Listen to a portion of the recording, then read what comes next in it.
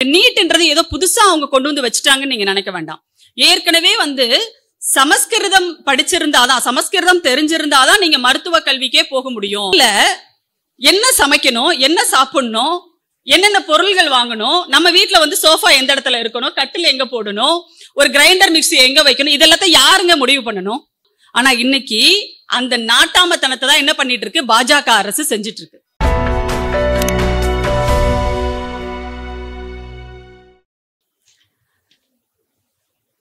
இந்த அறிமுக கூட்டத்தை கூட்டத்தை பொறுத்தவரை வடக்கு மண்டலத்தில் முதல் அறிமுக கூட்டம் என்று தோழர் இளஞ்சித்தரன் கூறினார். இது மென்மேலும் பல்வேறு பகுதிகளில் எடுத்துச் செல்லப்பட வேண்டும் என்ற ஆவலையும் வீதி வீதியாக சென்று திராவிட நட்பு கழகத்தினுடைய நோக்கத்தை மக்களிடம் கொண்டு போய் சேர்க்க வேண்டும் என்ற ஒரு ஆலோசனையையும் தோழர் அசாருதீன் அவர்கள் இங்கே முன்வைத்தார்.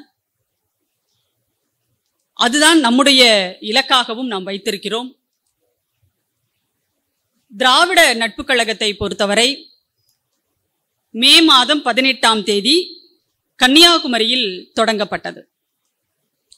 நீங்க பாத்தீங்கன்னா கன்னியாகுமரியில் திருவள்ளுவர் சிலையை தலைவர் கலைஞர் அங்கே வைத்ததற்கு ஒரு முக்கியமான காரணம் இருக்கிறது.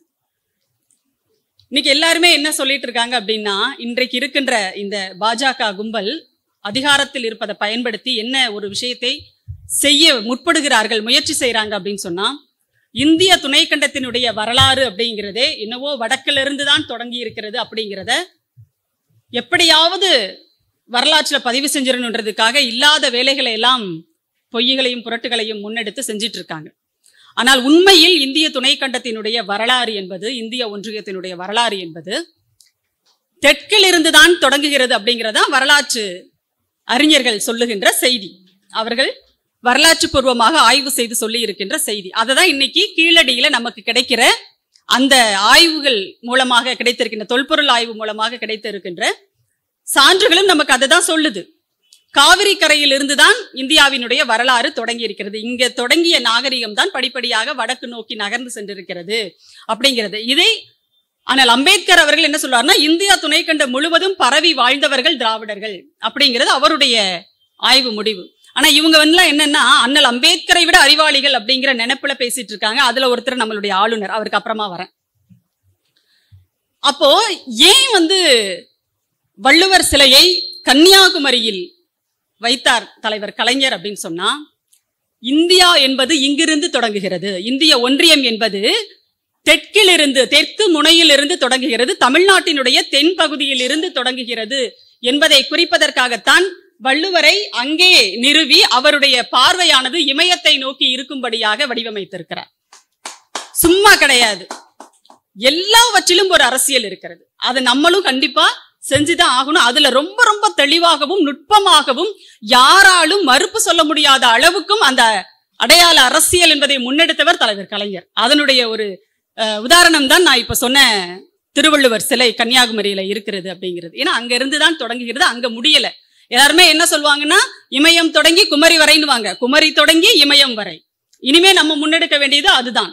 ஸோ அதனாலதான் நம்ம என்ன பண்ணோம்னா திராவிட நட்பு கழகத்தை தொடங்குவதற்கு அந்த கன்னியாகுமரியை தேர்ந்தெடுத்தோம். மே பதினெட்டாம் தேதி ரொம்ப சிறப்பா மிகப்பெரிய ஒரு திருவிழாவாகவே வந்து அங்க திராவிட நட்பு கழகத்தினுடைய தொடக்க விழா நடந்துச்சு. சரி ஏற்கனவே நிறைய அமைப்புகள் இருக்கே எதுக்காக மறுபடியும் ஒரு புது அமைப்பு அப்படிங்கிற ஒரு கேள்வியும் நமக்கு இருக்கு. நான் வந்து ஒரு சுருக்கமாக வந்து உங்ககிட்ட நான் பேசணும்னு நினைக்கிறேன். முதல்ல திராவிட நட்பு கழகம் எதற்காக தேவைப்படுகிறது? ஏன் தொடங்கப்பட்டது? அதனுடைய நோக்கம் என்ன? அது எப்படி செயல்பட போகிறது? இதை ஏற்கனவே சுருக்கமாக நம்முடைய தோழர் இளஞ்சித்திரன் அவர்கள் பேசும்போதே வந்து குறிப்பிட்டிருக்கிறார். இதை சொல்லிட்டு இப்போ திராவிட நட்பு கழகத்தினுடைய வேலை என்னவாக இருக்கணும் தமிழ்நாட்டுல? இப்ப என்ன நடந்துட்டு இருக்கு? நாம வந்து எதை எதிர்த்து அல்லது எதில் எதிலிருந்து எந்த தாக்குதலில் இருந்து நம்மை காப்பாற்றிக் கொள்வதற்காக இந்த திராவிட நட்பு கழகத்தை நாம் முன்னிறுத்த வேண்டும் அதில் இணைந்து கொள்ள வேண்டும் அப்படிங்கிறத பத்தியும் நம்ம பேசணும். முதல்ல திராவிட நட்பு கழகம் அப்படிங்கிறது. ஏற்கனவே சொன்ன மாதிரி நிறைய பேருக்கு இங்க வந்து சமூக நீதி குறித்து எந்த மாற்று கருத்தும் இருக்க போறது கிடையாது. இல்லையா? யாருக்காவது இங்க நான் சமூக நீதின்றது எனக்கு உட- உடன்பாடு இல்லை அப்படின்னு சொல்றவங்க இருக்கோமா? இல்லை. சமூக நீதியில் நம் அனைவருக்குமே உடன்பாடு இருக்கிறது. ஏன்னா எல்லோருக்கும் எல்லா வாய்ப்புகளும் கிடைக்க வேண்டும். எல்லோரும் எல்லா நிலைகளிலும் வந்து முன்னேறி வரணும். யாருக்கும் ஏற்றத்தாழ்வு அப்படின்றது இங்க இருக்கக்கூடாது. அப்படிங்கிறதுல நமக்கு எல்லாருக்குமே உடன்பாடு இருக்கு. ஒண்ணு. அதே மாதிரி ஜனநாயகம். ஏன்னா இந்தியா என்பது ஒரு மிகப்பெரிய ஜனநாயக நாடு. நம்ம பள்ளிக்கூடத்திலிருந்து பாடத்துல அந்த பெருமையை நமக்கு சொல்லி கொடுத்துருக்காங்க. இந்தியா என்பது மிகப்பெரிய ஒரு ஜனநாயக நாடு. அதாவது உலகிலேயே மிகப்பெரிய ஜனநாயக நாடு இந்தியா தான் இதெல்லாம் வந்து நமக்கு பள்ளி பாடத்திலேயே நமக்கு சொல்லி கொடுத்துருக்காங்க. அப்போ அந்த ஜனநாயகத்தை பாதுகாக்க வேண்டிய ஒரு இடத்துலயும் நம்ம இருக்கோம். இதுலயும் நமக்கு யாருக்குமே மாற்று கருத்து இருக்க முடியாது. மத நல்லிணக்கம். இந்த மத நல்லிணக்கம் அப்படிங்கறதுல யாருக்காவது மாற்று கருத்து இருக்க முடியுமா? இன்னைக்கு எல்லாருமே என்ன பண்ணிட்டு இருக்கோம் சகோதர சகோதரிகளா அண்ணன் தம்பிகளா வாழ்ந்துட்டு இருக்கோம் இல்லையா? இப்ப இங்க மேடையில தோழர் அசாருதீன் இருக்காருன்னு சொன்னா அவரை நம்ம எப்படி பார்ப்போம்? ஒரு இஸ்லாமியராவா பாக்குறோம் இல்ல இல்ல. நம்மள ஒருத்தரா பாக்குறோம் இன்னைக்கு அவர் வந்து திராவிட நட்பு கழக மேடையில பேசுறாரு அப்படின்னு சொன்னா அவர் ஒரு இஸ்லாமியர் என்பதோ அல்லது நாம் கடவுள் மறுப்பாளர் நாங்களா கடவுள் மறுப்பாளர்கள் என்பது இதற்கு ஒரு தடையே கிடையாது நம்மளை பொறுத்த வரைக்கும். அது அவங்கவுங்களுடைய தனிப்பட்ட நம்பிக்கை சார்ந்தது. அப்போ எல்லா மதத்தை சார்ந்தவர்களும் ஒற்றுமையாக ஒரே இடத்தில் ஒருங்கிணைந்து வாழ்வது என்பதோ அவரவர்களுக்கான நம்பிக்கைகளை அவரவர்கள் பின்பற்றுவது என்பதிலோ நமக்கு எந்த மாற்று கருத்தும் கிடையாது. இல்லையா? அப்போ இந்த மூன்றையும் முன்வைத்து தான் நம்முடைய திராவிட நட்பு கழகம் அப்படிங்கிறது தொடங்கப்பட்டிருக்கு. திராவிட நட்பு கழகத்தினுடைய நோக்கங்கள் அப்படிங்கிறது இதுதான். சமூக நீதி ஜனநாயகம் மத நல்லிணக்கம். சரி இததான் வந்து ஏற்கனவே எல்லாரும் பேசிட்டு இருக்காங்களே திராவிடர் கழகம் அதை தான் பேசுது திராவிட இயக்க தமிழர் பேரவை அதை தான் பேசுகிறது இன்னும் சொல்ல போனா இன்னும் நிறைய பெரியாரிய இயக்கங்கள் இருக்கிறாங்க. கொளத்தூர் மணியண்ணனுடைய திராவிடர் விடுதலை கழகம் அதை தான் பேசுது பேசுது. தோழர் ஓவியா அவர்களுடைய தலைமையிலான புதிய குரல் அமைப்பு அதை தான் பேசுது. அப்புறம் ஏன் வந்து தனியாக இதை பேசுறதுக்குன்னு ஒரு அமைப்பு? கரெக்ட் இதையெல்லாம் பேசுகின்ற அந்த அமைப்புகள்ல கடவுள் நம்பிக்கை இல்லாதவர்கள் மட்டும்தான். சாமி கும்பிடாதவங்க அப்படின்னு சொல்லலாமா? நாத்திகர்கள். இவங்க தான் வந்து உறுப்பினர்களாக இருக்க முடியும் அப்படின்னு சொல்லிட்டு ஒரு விதி இருக்குது அப்போ இந்த மூன்றிலுமே உடன்பாடு உடையவர்கள் ஆனா எங்களுக்கு கடவுள் நம்பிக்கை இருக்குது. எங்களுக்கு வந்து அதை விட முடியாது. எங்களுக்கு கடவுள் நம்பிக்கையும் முக்கியம். அப்படின்னு சொல்றவங்களை நம்ம எங்கேயும் தூரத்துல கொண்டு போய் நிறுத்திட வேண்டாம். அப்படி நிறுத்தினா என்ன ஆபத்து இருக்கு தெரியுமா? இன்னைக்கு நம்ம பிள்ளைங்க எல்லாம் வந்து எங்க போய் சேர்ந்துடுறாங்க? எங்க அதாவது கூடா நட்புன்னு சொல்லிட்டு வள்ளுவர் ஒரு அதிகாரமே எழுதியிருக்காரு இல்லையா? அந்த மாதிரி ஒரு சேரக்கூடாத இடத்துல போய் நம்ம பிள்ளைகள் சேர்ந்து அவங்க திசை மாறி வழி மாறி போயிடுறாங்க. இன்னைக்கு வெளிநாடுகள்ல வந்து கஷ்டப்பட்டு இங்க இருந்து கடனை உடனே வாங்கி வெளிநாட்டில் ஏதோ ஒரு துபாயில் ஒரு சின்ன வேலைக்கு இங்கேருந்து நம்ம பிள்ளைங்களை அனுப்புனா அங்கே போய் இந்த சேரக்கூடாத கட்சிகள் கிட்ட எல்லாம் போய் சேர்ந்து என்ன ஆகுறாங்கன்னா அங்கிருந்து வேலையை விட்டு விரட்டி அடிக்கக்கூடிய திருப்பி அனுப்பக்கூடிய அளவுக்கு அவங்களுடைய அந்த அரசியல் புரிதலின்மையின் காரணமாக போய் சிக்கிக்கிறாங்க அவங்க. அப்போ இதுல இருந்தெல்லாம் அவங்கள காப்பாற்றணும் அப்படின்னா நம்முடைய பிள்ளைகளை நம்முடைய பிள்ளைகளாகவே நம்ம வச்சுக்கணும். அவங்களுடைய எதிர்காலத்தை பாதுகாக்கணும் அப்படின்னு சொன்னா அவங்களையும் நாம் அரவணைத்து இந்த சமூக நீதி ஜனநாயகம் மத நல்லிணக்கம் சார்ந்த இந்த கருத்தியலுக்குள்ள அவங்கள கொண்டு வரணும் அப்படின்னு சொல்றதுக்காக தான் அதற்காக தான் இந்த திராவிட நட்பு கழகம் அப்படிங்கிறத உருவாக்கி இருக்கும் இந்த திராவிட நட்பு கழகத்தில் இணைவதற்கு இந்த மூன்றிலும் நம்பிக்கை உள்ளவர்கள் சமூக நீதியில் நம்பிக்கை இருக்கிறவங்க ஜனநாயகத்தில் நம்பிக்கை இருக்கிறவங்க மத நல்லிணக்கத்தில் நம்பிக்கை இருக்கிறவங்க இந்த மூன்று கூறுகளிலும் நம்பிக்கை இருப்பவர்கள் தாராளமாக திராவிட நட்பு கழகத்தில் இணையலாம். அவங்க வந்து கடவுள் நம்பிக்கை இருக்குதா? தாராளமா இருந்துட்டு போட்டோம். அதுல எங்களுக்கு பிரச்சனை இல்லை. எங்களுடைய கொள்கை என்பது கடவுள் மறுப்புன்றது நாங்க அதை தனியா வச்சுக்கிறோம். அதுக்கும் இதுக்கும் தொடர்பே கிடையாது. சரியா? ஏன்னா எங்க கடவுள் நம்பிக்கை இல்லை அப்படின்னு சொன்னா நிறைய பேர் இப்ப சொல்லிட்டு இருக்காங்க. நீங்க இஸ்லாமியர்களை பார்த்து சொல்லுவீங்களா? எ- மொத்தத்துல கடவுள் நம்பிக்கை இல்லாதவங்க நாங்க அவ்வளவுதான். இதுக்கும் அதுக்கும் தொடர்பே கிடையாது. அதனால சாமி கும்பிடுறதுன்றது ஒவ்வொருவருடைய தனிப்பட்ட நம்பிக்கை சார்ந்தது தனிப்பட்ட உரிமை சார்ந்தது. சரியா? அதனால அதை நீங்க வச்சுக்கலாம் பிரச்சனை கிடையாது. ஆனால் திராவிட நட்பு கழகத்தினுடைய கூட்டம் என்பதோ அல்லது இந்த அமைப்பு என்பதோ இந்த மேடை என்பதோ இந்த மூன்று கூறுகளையும் காப்பாற்றுவதற்கான ஒரு அமைப்பு தான் இது. இங்க நீங்க வந்து உங்களுடைய கடவுள் நம்பிக்கையை கொண்டு வர முடியாது. அதை நீங்க அப்படியே வச்சுக்கலாம். நீங்க தாராளமா இதுல உறுப்பினர்களா இருந்துக்கலாம். இவ்வளவுதான். இதுதான் டீல். சரியா? அப்போ இதில் இணைந்து பணியாற்றுவதற்காக உங்களை அழைப்பதற்காகவும் இது குறித்த ஒரு அறிமுகத்தை உங்களுக்கு கொடுப்பதற்காகவும் தான் இந்த கூட்டம் அப்படிங்கிறது. இப்போ திராவிட நட்பு கழகத்திற்கு என்னென்ன வேலைகள் எல்லாம் காத்துட்டு இருக்கு இதுல நீங்க வந்து சேரும்போது எந்தெந்த மாதிரியான வேலைகள் எல்லாம் உங்கள் முன் இருக்கும் அப்படின்னா இன்னைக்கு நீங்க யோசிச்சு பாருங்க. எங்கேயோ பல ஆண்டுகளுக்கு முன்னாடி எல்லாம் வரலாறுக்கு நம்ம போக வேண்டாம். இப்ப என்ன நடந்துட்டு இருக்கு இன்றைக்கு தமிழ்நாட்டில் என்ன நடந்துட்டு இருக்கு மற்ற மாநிலங்கள்ல என்ன நடந்துட்டு இருக்கு அப்படிங்கிறத நம்ம கூர்ந்து கவனிச்சாலே போதும். தமிழ்நாடுங்கிறது இப்படிதான் இருந்தது. அது ஒரு படத்துல சொல்லுவாங்களே எப்படி இருந்தனா இப்படி ஆயிட்டேன் அப்படின்னு சொல்லிட்டு. அப்போ எப்படி இருந்த தமிழ்நாடு இப்ப எப்படி இருக்கு அப்படிங்கிறதையும் நம்ம பார்க்கணும். இனிமேல் அது எந்த திசையை நோக்கி போக வேண்டும் அப்படிங்கிறதையும் நம்ம தீர்மானிக்கணும். இந்த மூணு விஷயங்களையும் நம்ம எடுத்துக்கலாம். முதல்ல சமூக நீதி பத்தி நம்ம பேசுவோம். சரியா? சமூக நீதி அப்படின்னு எடுத்துக்கிட்டா நான் ஏற்கனவே சொன்ன மாதிரி அனைவருக்கும் அனைத்தும். அதுதான். இன்றைக்கு நம்முடைய ஆஹ், மாண்புமிகு முதல்வர் அவர்கள் தளபதி அவர்கள் சொன்ன சொல்ற மாதிரி திராவிட மாடல் அப்படிங்கிறது தான் இந்த சமூக நீதி அப்படிங்கிறது. வேற ஒண்ணுமே கிடையாது. எல்லோருக்கும் எல்லாமே கிடைக்கணும். அதுதான் சமூக நீதி. அதைத்தான் இன்றைக்கு திமுக அரசு செஞ்சிட்டு இருக்கு. அதைத்தான் நாம் திராவிட மாடல் அப்படின்றதையும் சொல்லிட்டு இருக்கோம்.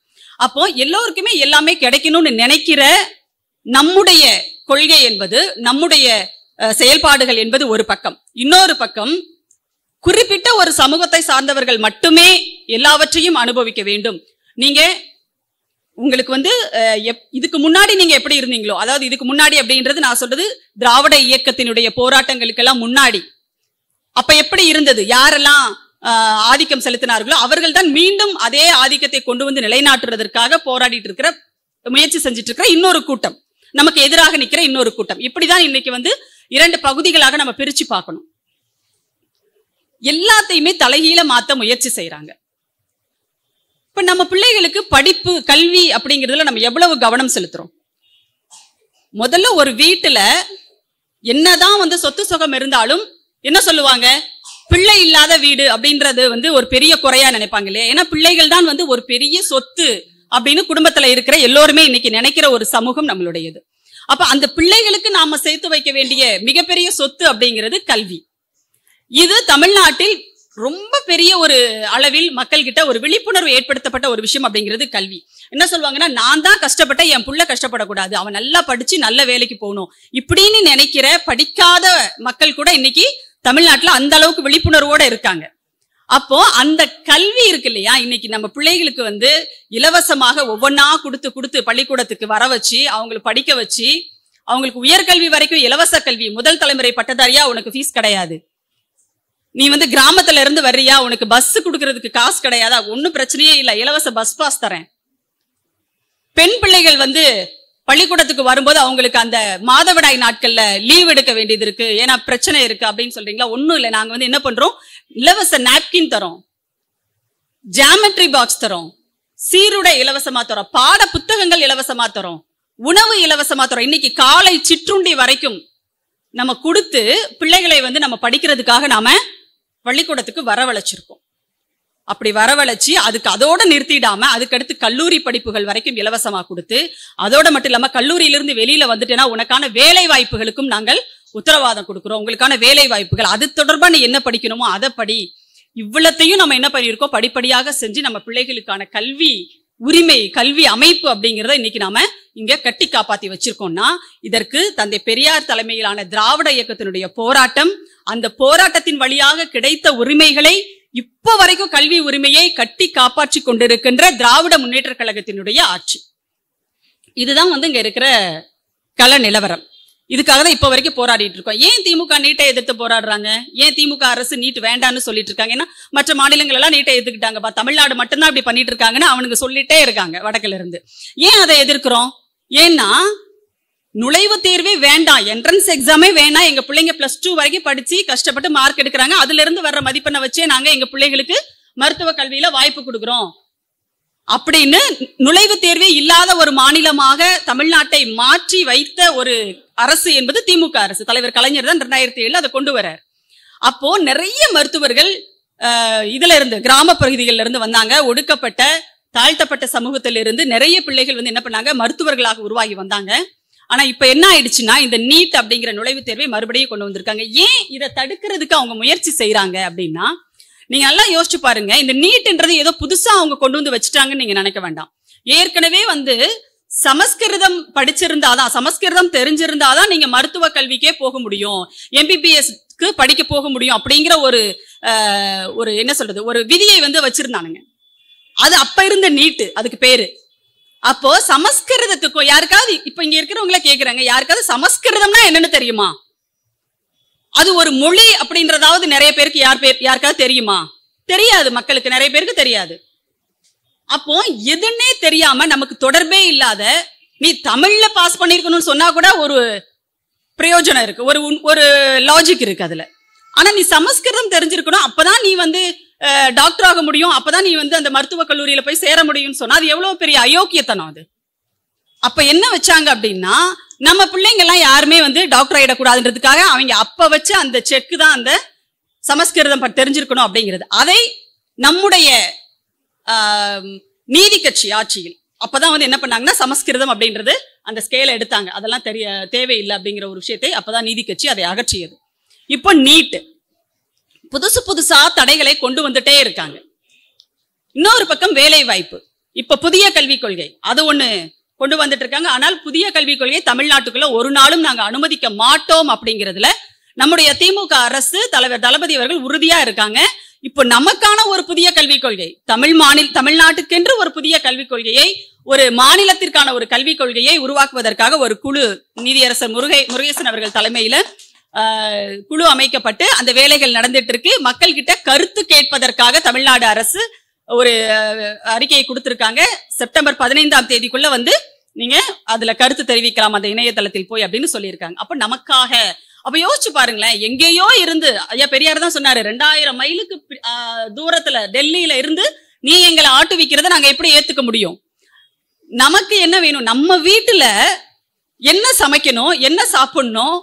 என்னென்ன பொருள்கள் வாங்கணும்? நம்ம வீட்டில் வந்து சோஃபா எந்த இடத்துல இருக்கணும்? கட்டில் எங்க போடணும்? ஒரு கிரைண்டர் மிக்ஸி எங்க வைக்கணும்? இதெல்லாத்தையும் யாருங்க முடிவு பண்ணணும்? நம்ம தானே முடிவு பண்ணணும்? எங்கேயோ இருந்துகிட்டு நான் எங்க சொல்றேனோ அங்கதான் நீ டைனிங் டேபிளையே போடணும். நான் எந்த பக்கம் பார்த்து உட்காந்து சாப்பிட சொல்றேனோ அந்த பக்கம் தான் நீ சாப்பிடணும். இல்ல நான் என்ன சாப்பிட சொல்றேனோ அதை தான் நீ சாப்பிடணும்னு சொன்னா அது எவ்வளவு பெரிய அயோக்கியத்தனம்? அது யாராவது நம்ம அனுமதிப்போமா? நம்ம வீட்டுக்குள்ள வந்து நாட்டாம பண்றதுக்கு யாரையாவது நம்ம விடுவோமா? ஆனா இன்னைக்கு அந்த நாட்டாமத்தனத்தை தான் என்ன பண்ணிட்டு இருக்கு? பாஜக அரசு செஞ்சுட்டு இருக்கு.